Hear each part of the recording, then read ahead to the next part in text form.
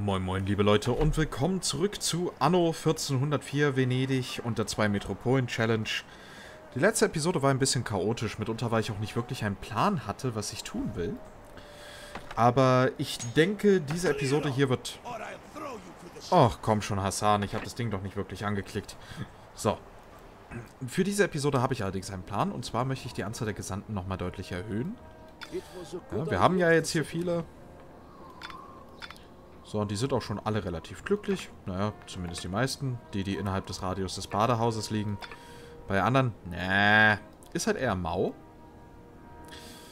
dennoch äh, habe ich vor, weitere Gesandte hier anzusiedeln. Dafür werden wir aber ein bisschen Vorbereitung machen. Und zwar werden wir schon mal anfangen, Marzipan zu produzieren. Und ich werde auch gleich etwas testen. Und zwar ähm, stellt sich die Frage, wie werden wir verhindern, dass die Leute hier hinten aufrüsten, selbst wenn die äh, Moschee gebaut ist. Und wir machen dafür jetzt mal einen kleinen Testlauf, indem wir einfach mal sämtliche Zugangswege blockieren. Und so sehen wir die Abfrage, ob das Ding direkt mit einer Straße verbunden sein muss und die Verbindung in Reichweite der Moschee liegen muss. Oder ob einfach nur der Radius reicht und wenn die Verbindung einen langen Umweg hat. So, das werden wir gleich mal testen. Weil wenn das, äh, ich habe jetzt hier auch schon die Steuern reduziert, das heißt, die sollten bald aufstiegsbereit sein. Zumindest den Wunsch in diese Richtung haben. Und da sehen wir, ja, es reicht, wenn die Verbindung außerhalb des Radius ist. Hauptsache, es ist irgendwie damit verbunden. Das ist ärgerlich. Das heißt also, die Idee, einfach hier auf die Torhäuser zu verzichten, hat nicht funktioniert. So, und hier verfolgen wir Hassan. Gleichzeitig wird auch ein Vulkan aktiv. Werden wir das getriggert haben, indem wir Hassan jagen? Ich bezweifle es. Aber man soll ja niemals nie sagen. Schauen wir mal, ob das Ding hier diesmal auch wirklich ausbricht oder ob es wieder einfach nur am Rumbrodeln ist, wie beim letzten Mal. Das werden wir dann sehen. So, und ich hoffe wirklich, dass wir jetzt diesmal endlich, endlich diese verkackte Quest der Hassan kriegen. Äh, die ist uns... Okay, der Vulkan hat nur gebrodet. Ich bin jetzt äh, sehr, sehr enttäuscht. Ich hatte ehrlich gesagt auf Blut und Morde gehofft. Aber gut. Und das hier wird höchstwahrscheinlich unsere Marzipaninsel. Auch wenn wir hier nicht genügend Zuckermühlen bauen können, ist halt die Frage, haben wir woanders noch Flussbauplätze? Ja, die, wir hätten hier noch welche, die möchte ich aber für die Bücher frei halten. Einfach weil wir voraussichtlich später viel mehr Papier verbrauchen werden. Flussbauplätze. Ja, die sind seltener, als mir eigentlich lieb ist.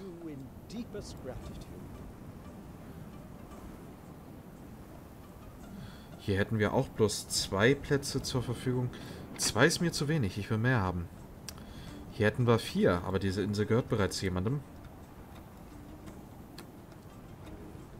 Genau, wir werden uns Charityville schnappen.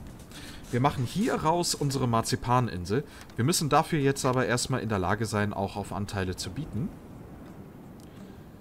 Das heißt also, wir machen jetzt das hier und wir werden den Cooldown reduzieren. Den haben wir jetzt um 25% reduziert. Das sollte jetzt ein ordentlich was ausmachen.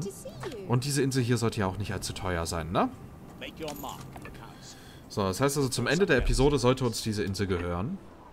Und bis dahin können wir ja weiter ein paar Gesandtenhäuser aufsteigen lassen.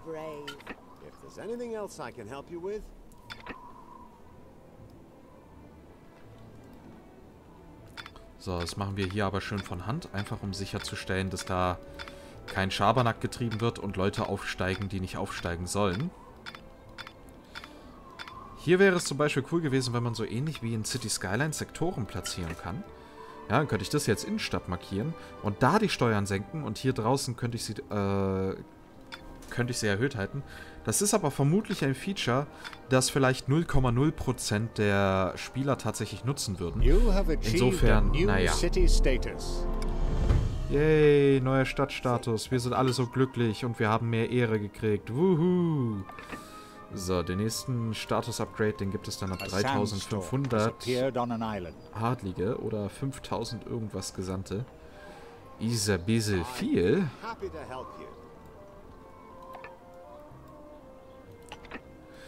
So, wir könnten natürlich auch weiter Bauern aufsteigen lassen. In der Hoffnung, dass wir damit dann auch mehr Gesandtenrechte, äh, mehr Patrizierrechte kriegen. Aber es müssten dermaßen viele sein und wir können nicht so viele Bauernhäuser aufsteigen lassen.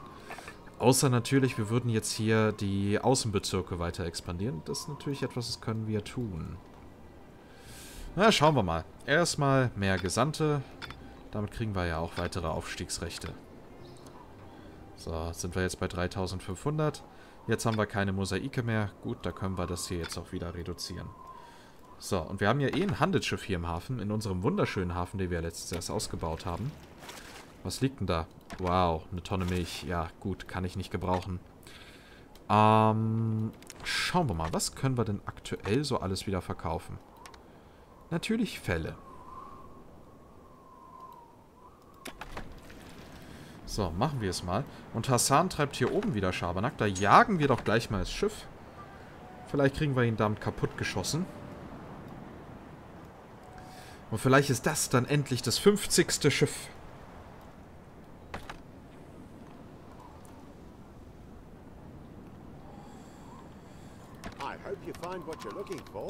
So, 34.000 für diesen Handelsstil. Ja, das klingt gut. Und da kriegen wir auch gleich erstmal wieder ein bisschen Ehre. Und ich denke, damit sind wir auch in der Lage, wieder ein paar, ein paar Patrizierwaren zu verkaufen. So, und da ist Hassans Schiff. Na, dreht es ab? Nein, er hat sich dem sogar richtig gestellt und ja, zwei Seifen später war das Schiff dann auch weg. Aber es hat immer noch nicht gereicht, um das letzte Gefecht zu triggern. Das macht mich langsam ein bisschen stinkig. Möchte ich an dieser Stelle ganz offen und unverblümt von mir geben. Weil es kann doch nicht sein, dass wir jetzt so lange ihm hinterherjagen müssen. Na gut. So, was ist hier? Oh, schon wieder Milch, ja. Das sind vermutlich die ganzen Zollwaren, die wir nicht annehmen können.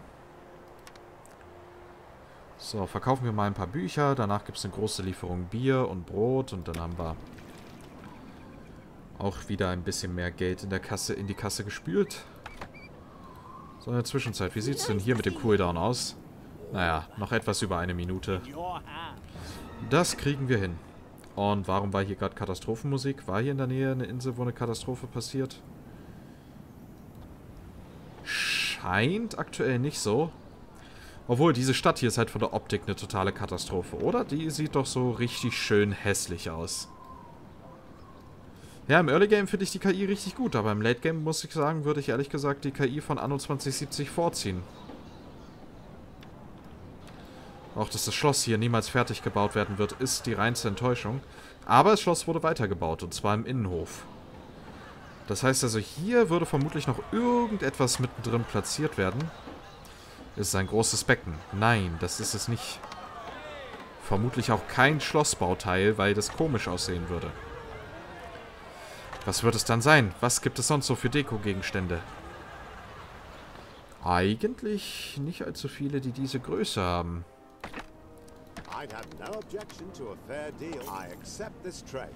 So, damit haben wir jetzt noch 22.000 mehr. Wie gesagt, ich könnte eigentlich effizienter spielen, gerade was die Geldbilanz angeht, aber ich ziehe lieber ein Handelsimperium vor. Gut. Ah, das ist die Katastrophe. Ich verstehe. Na gut. So, wir haben hier vier Flussbauplätze zur Verfügung.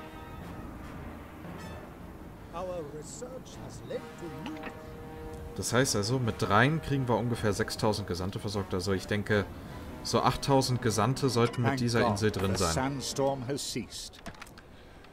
Und das ist ja ungefähr so die Nummer, wo wir später mal hinwollen. Vielleicht sogar noch mehr. Wer weiß, vielleicht kann man sogar noch mehr damit versorgen. Vielleicht geht es sogar in Richtung 10.000. Man weiß es nicht. Wäre mal spannend zu wissen, ehrlich gesagt. Aber gut, da bin ich jetzt zu faul, das extra nachzuschauen. Wir lassen uns einfach überraschen. Wir werden es ja sehen anhand dessen, wie viel wir produzieren, wie viel verbraucht wird, ob die Lagerbestände steigen oder sinken. Weil bis dahin ist auch unsere zweite, äh, zweite Speicherstadt fertig.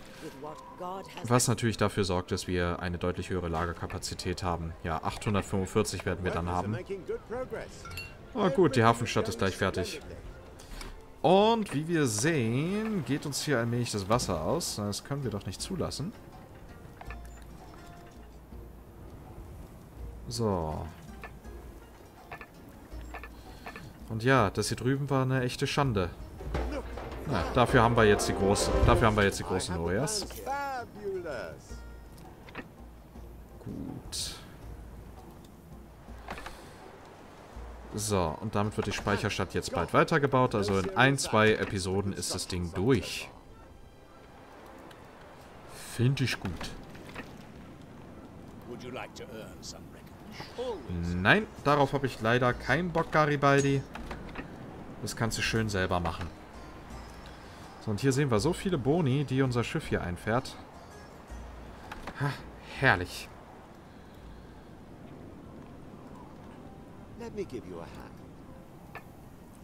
So, hier noch drei Minuten bis zum nächsten Share. Ja, das heißt also, in ein paar Minuten gehört es uns. Das heißt, wir werden noch in dieser Episode vermutlich die Marzipanproduktion aufziehen können. Wir werden dafür natürlich einiges an Mosaike brauchen. Ja, dafür können wir ja die Mosaikreserven der anderen Inseln anzapfen. Wir haben ja... Hier haben wir 158 Tonnen, hier haben wir nochmal 20. Ist nicht viel, aber das kann sich schon mal läppern. So, wir müssen jetzt natürlich schauen für die Marzipanproduktion. Die müssen wir natürlich eh erstmal noch freischalten. So, wir brauchen 1500 Ansehen. Wir haben 1100 Ehre. Das wird dafür nicht ganz reichen. Gut zu wissen. Ist natürlich ein klein wenig enttäuschend, aber... Dann machen wir schon mal so viel, wie wir können. Ehre werden wir noch genug kriegen. Und Hauptsache uns gehört erstmal diese Insel. So, nach 1 Minute 10. Na gut, mit Zeitraffer natürlich ein bisschen schneller. Schauen wir mal, ob Helena dann auch in der Lage ist, etwas zurückzukaufen. Ich halte es aber für unwahrscheinlich.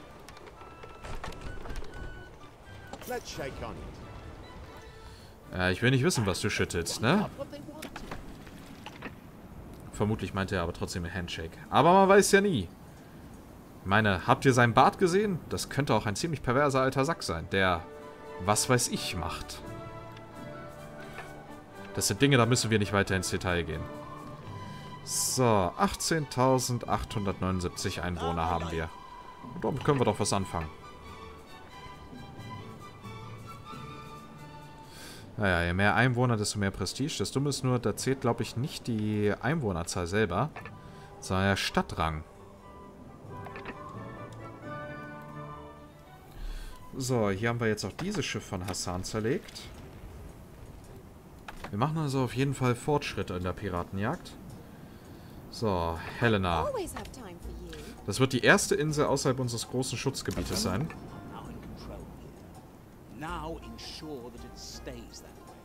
Oh, das habe ich vor, Garibaldi.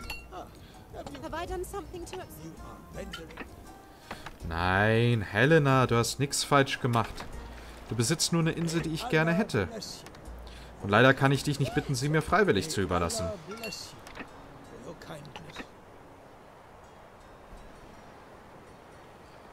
Diese Nachricht verwirrt mich jetzt, weil ich spiele das Spiel seit effektiv 13 Minuten. Na gut, dann machen wir mal einen Schnitt. Bis gleich. So, und da sind wir auch schon wieder zurück. Und ich muss gestehen, ich bin bezüglich des Speicherproblems gerade so ein bisschen pissig, weil das letzte Mal, als ich eine große Stadt gebaut habe, so groß, dass dieses Problem wirklich zum Tragen kam, da musste ich erst so äh, jenseits der 30.000 Einwohner erreichen und ich war da immer noch auf maximalen Grafikdetails unterwegs. Hier habe ich sie ja schon reduziert. Und ja. Keine Ahnung. Vielleicht muss ich einfach immer regelmäßig Rechner neu starten. Das habe ich aber schon, bevor ich den ersten Teil dieser Episode aufgenommen habe. Ja, extra für dieses Spiel, Rechner Neustart, alles. Das heißt extra meine 200 Tabs Porn bei Google Chrome geschlossen. Natürlich alle Browser im Hintergrund abgeschaltet und so weiter und so fort. Also eigentlich alles getan, damit das Spiel nicht pissig wird. Und trotzdem ist das Spiel so böse zu mir. Gut, also, wir müssen natürlich die Zahl der Gesandten erhöhen. Und das können wir in dem Bereich tun. Das Dumme ist nur, das würde die Einwohnerzahl gar nicht mal so weit steigern, aber wir müssen Marzipan freischalten. So, um die Einwohner glücklich zu machen, müssen wir natürlich ein weiteres Badehaus errichten und dann die Steuern reduzieren. Dann machen wir das doch einfach mal.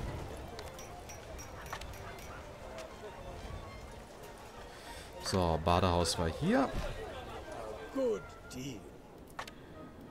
So, und da sehen wir ja, du bist happy, ne? Also hier, bei mir gibt es keinen Grund zur Klage. Du gibst mir Geld, ich gebe dir Waren. Alle sind glücklich. So, reduzieren wir hier mal ein bisschen die Steuern und unsere Bilanz ist jetzt schrecklichst negativ. Aber hey, es könnte schlimmer sein. So, und ich will jetzt einfach nur endlich, dass Hassan verreckt. Ja, 30.000 Gold will er haben. Kann er, kann er vergessen.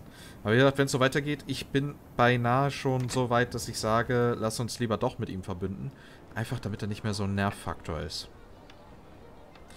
Aber es kann es ja auch nicht sein. So, die Zahl unserer Gesandten steigt.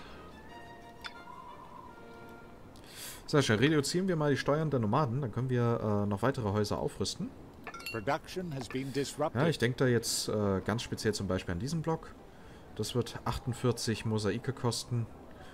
80 haben wir jetzt. Ja, also... Scheint also ganz gut zu laufen bei uns.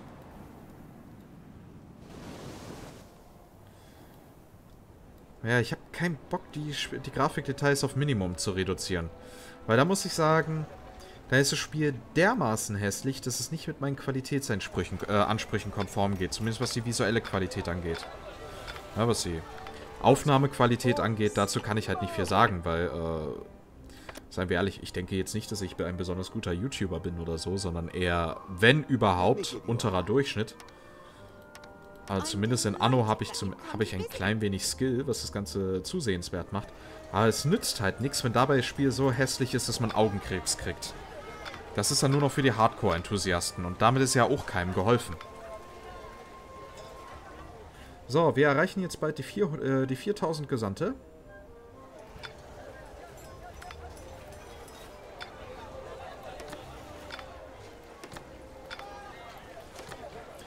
So, die haben wir jetzt überschritten. Wie viel... Ach, hier reicht es ja eigentlich, wenn ich Steuern nur auf Leichtgrün setze. Selbst dann ist das ja schon alles geklärt. Naja, in der Zwischenzeit, ähm... Ne? Holen wir uns trotzdem mal diese Insel.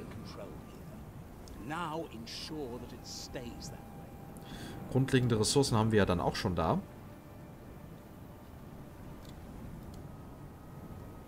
A fair trade. Settlement is now under new rule. Ja, wer hätte das gedacht? Oh, keine Sorge. Bald wirst du mich wieder lieben, Helena. Lieben. Dann würdest du dir sogar wünschen, wir hätten Kinder zusammen. Das kann ich dir schon sagen. Okay, so, wir haben ein paar Waren hier. Auch alle möglichen Waren, die keinen Sinn machen. Aber das sind ja Details. Oh, Helenas Schiff wollte hier anlaufen. Tja, zu spät, kleines Schiff. Diese Insel steht unter neuer Herrschaft. So, jetzt haben wir hier auch die Lagerkapazitäten erhöht und wir können jetzt hier auch schon mal anfangen, ordentlich zu shoppen, damit wir dann, äh, sobald es richtig losgeht, auch gut vorbereitet sind, ne? Eine hohe Lagerkapazität wird hier besonders wichtig sein, weil halt diese Handelsroute besonders lang ist.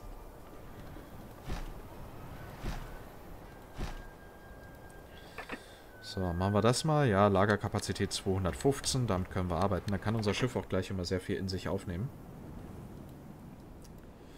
So, jetzt haben wir schon 4200 Gesandte. Ich vermute mal, wir müssen noch mehr kriegen. Warum würde es mich nicht überraschen, wenn es heißt, wir müssen tatsächlich den nächsten Stadtrang erreichen? Das würde bedeuten, wir müssen auf 500, äh, 5240, ja. Dann könnten wir auch gleich die ganze Sultansmoschee bauen, ganz ehrlich. So, ähm, die hier brauchen wir gleich gar nicht erst aufsteigen lassen. Da kommt ja das Badehaus nachher hin.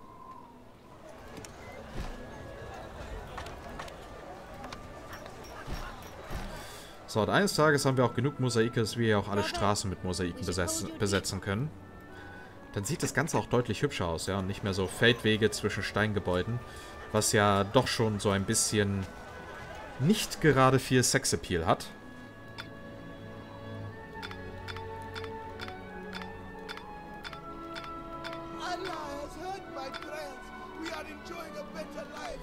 Gott, bleib mir bitte fern mit Religion, ja, ganz ehrlich. Ich habe jetzt nicht, äh, kein Problem mit Allah oder so, aber Religion ist nicht so mein Bier, ja, das, äh, bitte, ja. Zwing hier mir nicht deine Religion auf, ja. Ich fühle mich unterdrückt in meinem Unglauben. So, bitte sagt mir, dass ihr jetzt... Ja, sie wollen Marzipan. Wir haben soeben unser Ziel erreicht. So, jetzt brauchen wir allerdings 400 weitere... Äh, jetzt brauchen wir nochmal deutlich weitere Ehre. Aber auch die können wir uns holen.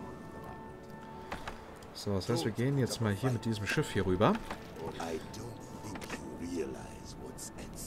Und dann sichern wir uns jetzt auch mal genug Ehre, dass wir in der Lage sind, auch gleich das entsprechende Saatgut zu holen. What do you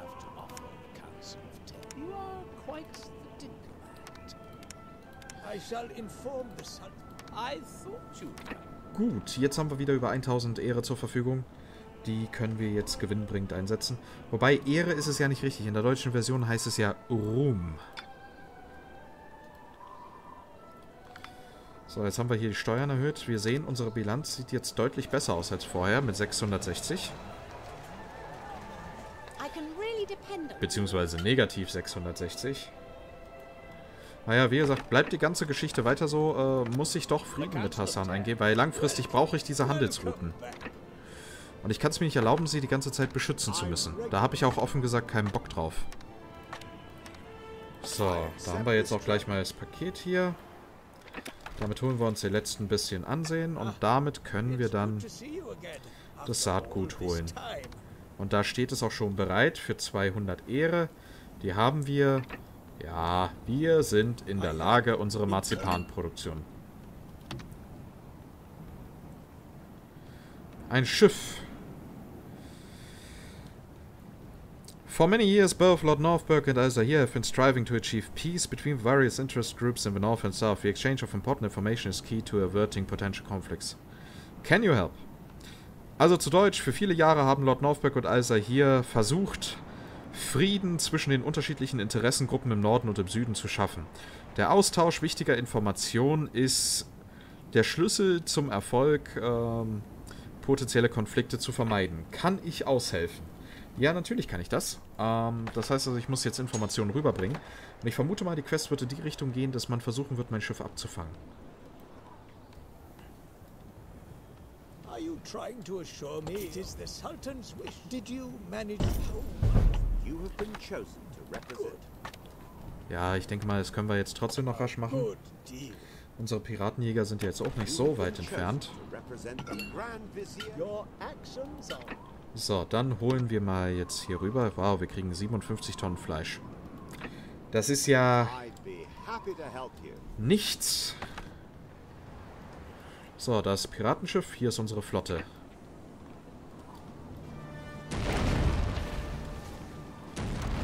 Und das Schiff wurde auch schon gut verlangsamt. Naja, genau, Hassan. Das bringt doch alles nichts. Oh, hier hat die KI es nicht geschafft, einen Turm richtig in die Mauer reinzusetzen. Das spricht doch so ein bisschen für Unfähigkeit. Oh, hier, hier haben wir einen kleinen Stau. Aber auch das sollte uns nicht vor Probleme. So, ich denke mal, das Fleisch können wir gleich verkaufen.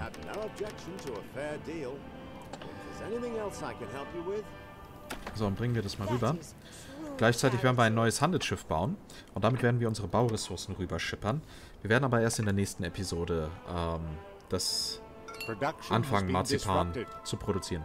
By the way, ich habe hier noch eine kleine Nachricht, die für euch alle spannend sein könnte. Zumindest für diejenigen, die auch dem Hauptkanal folgen. Wir haben heute einen größeren Test gemacht. Und zwar haben wir auf dem Hauptkanal mal das äh, Livestreaming-Feature von YouTube getestet und äh, hat uns soweit ganz gut gefallen.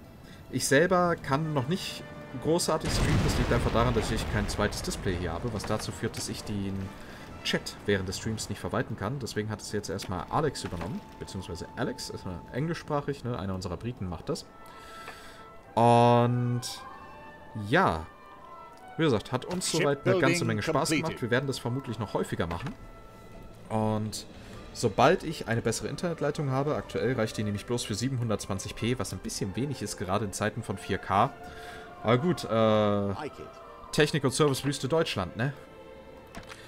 Ähm, ja, sobald das, äh, sobald das dann geklärt ist, dass ich den besseren Internetanschluss habe, hoffentlich ist er bis dahin möglich. Ansonsten, ansonsten ist das auch ein bisschen problematisch. Dann werde ich halt erstmal bloß in 720p streamen können. Leider. Aber wenn es halt nicht anders geht.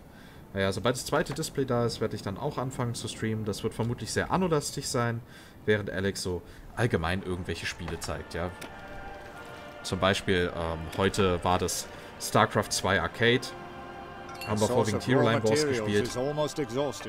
War ganz spaßig. So, und hier bestechen wir mal wieder den Berg. Und ja, es ist jetzt tatsächlich wieder Thumbnail-Zeit. Es ist nur die Frage, was nehmen wir als Motiv? Naja. Andererseits, also die Stadt ist ja schon so ein bisschen episch groß. Ja, wenn wir uns das mal anschauen. Auch hier vorne das arabische Viertel, dahinter die Occidentalstadt.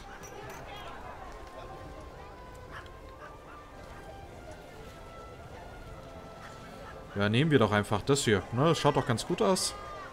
Auf maximalen Details würde es natürlich besser aussehen. Aber es ist eine andere Geschichte. So, na hier sind jetzt alle wieder fröhlich am Shares kaufen. Haben sie etwa ein bisschen Angst gekriegt. Naja, so, wir haben jetzt äh, ein bisschen was geschafft. In der nächsten Episode werden wir uns um Marzipan kümmern. Was dazu führt, dass die Leute hier glücklich sind. Da haben wir alle Bedürfnisse erfüllt. Dann können wir auch die ganze Rest aufsteigen lassen mit den entsprechenden Materialien und uns wieder mehr auf den Occident konzentrieren, weil der ist nicht so weit, wie er sein könnte. Das finde ich ein bisschen schade.